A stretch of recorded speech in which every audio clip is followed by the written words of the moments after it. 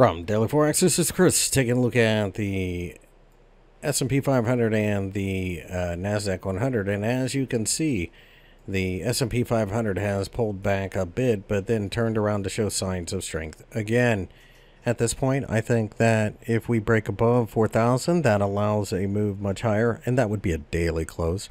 And I do think it happens, but we have quad witching on Friday, so I expect um, Friday is going to be kind of crazy. Thursday may be more bullish. NASDAQ 100 looks like it's trying to break above this 13,333 level, and if we can do that, then we are going to the high. Uh, if we pull back, I think there are plenty of buyers underneath. I have no interest in shorting, at least not until we break down below this uptrend line. If we did, I'd be a buyer of puts. I would not short this market.